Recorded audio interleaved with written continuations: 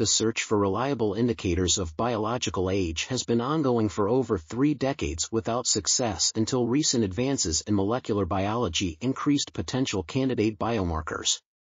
This review summarizes current state-of-the-art findings on six types of biological age predictors, including epigenetic clocks, telomere length, transcriptomic and proteomic predictors, metabolomics-based predictors, and composite biomarker predictors promising developments consider multiple combinations of these various types of predictors, which may shed light on the aging process and provide further understanding of what contributes to healthy aging.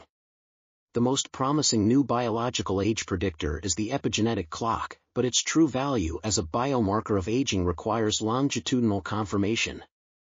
This article was authored by Juulia Jylhävä, Nancy L. Pedersen, and Sara Hägg.